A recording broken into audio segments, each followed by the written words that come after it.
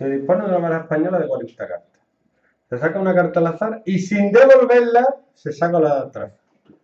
Y calcula por que ninguna de las cartas es de oro. Me hago mi arbito, oro, 10 de 40. No oro, 30 de 40. Ahora, como no la devuelve, ¿qué te pide? Ninguna sea de oro. Me voy por aquí. Oro, no Me quedan 39 cuartas. Cuarta no, carta. Si no he sacado una de oro, ¿cuántas me quedan de oro? 10, Pues ya está. La verdad es que no salga las dos de oro. La verdad es que no salga de oro en la primera y no salga de oro en la segunda. Se acabó. Dice, sabiendo que la segunda carta ha sido de copa, que el primero que también lo fuera la primera. Ahora las copas. ¿Borro? Yo me voy a comer visto.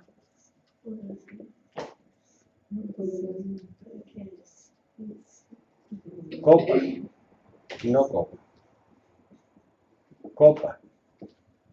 No copa. Copa. No copa.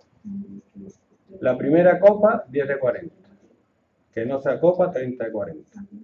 Si ha salido de copa, hay 39 y copa, como ha sacado una, hay 9. De que no sea copa, hay 39 y que no sean copa son 30.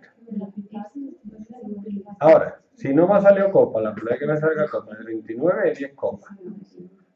Y de 39 aquí, si no ha salido copa la primera, de que no salga copa es 29 porque la primera no ha sido una copa. Y me preguntan, sabiendo que la segunda carta ha sido una copa, calcula la probabilidad de que también lo fuera la primera.